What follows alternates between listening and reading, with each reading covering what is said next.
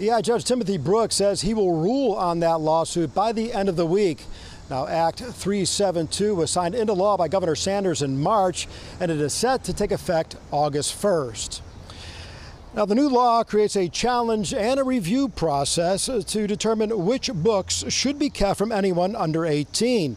It also subjects public librarians to criminal charges for furnishing any harmful items to minors. It's vague. Know, what is not deemed, what's deemed harmful to minors uh, is not a, it's hard for librarians to interpret it. And of course, it's a crime if a librarian presents, or, and that's not even clear, material that could be harmful to a minor. Um, it puts that in the display or something and makes it accessible. Those terms are not very clear. So that make that's a that would make it a criminal act on the part of a librarian. Well, you really want your librarians to be afraid of committing a crime?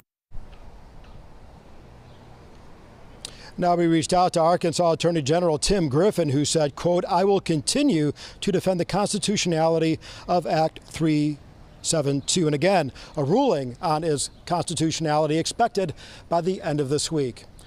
We are live in Fayetteville. Paul Petit, 4029 News.